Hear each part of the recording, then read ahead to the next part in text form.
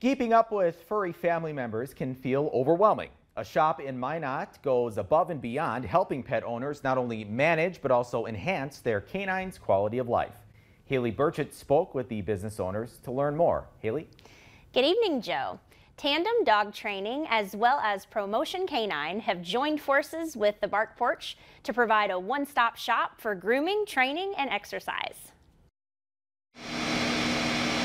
Preventive exercise, grooming, and training play a role in pets' longevity. Larissa Ronyak, the Bark Porch owner, says they see pets like Link on a four to six week basis, making them the first line of defense when it comes to identifying potential problems pet parents might miss, like toenail care and joint health. When toenails become super overgrown, um, it starts affecting um, the tarsals and everything that goes all the way up into your shoulders, including the hind end as well into the hips. Jessie Waddell with ProMotion Canine says she has seen a lot of animals that would benefit from motion and body awareness.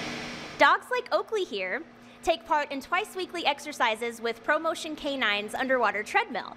It helps her with weight loss, helps keep her joints healthy, and improves her overall physical well-being. That's why this machine is so important. It reduces the weight of it reduces the weight of the dog you know, by 60%. So it's taking that stress and those impact off those joints. Can you sit? Often, Jesse will advise pet owners to seek more training through Nicole Weatherby's business, Tandem Dog Training, to support her efforts. Full range of motion. Just us being in the same building helps a lot, but I can help troubleshoot some things that maybe um, these guys don't think about um, because I come from more of a psychology standpoint and a little bit more of a behavior standpoint. Prolonging life and making more possible for pooches of all ages.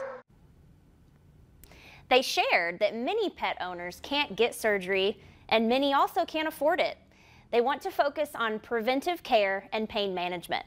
Larissa, Jesse, and Nicole invite the public to keep up with their social media platforms for more updates on events hosted at the Bark Porch throughout the year.